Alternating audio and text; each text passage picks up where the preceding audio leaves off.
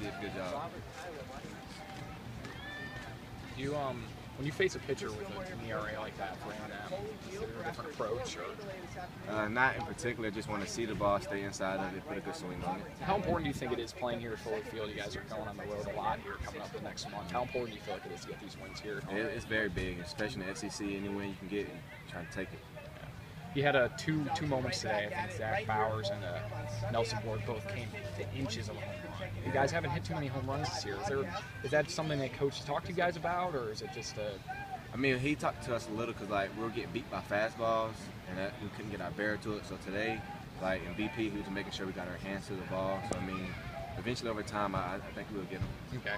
So there were three of the six runs you guys scored today came from that bottom three players in the lineup. How much of an emphasis was there of getting on base with you guys and just putting the run producers the I mean, it's very big. Coaches, he got he got us at the bottom because we're like we're younger, but we're gonna see a lot of fastballs. We got to make sure we're, we're ready for them.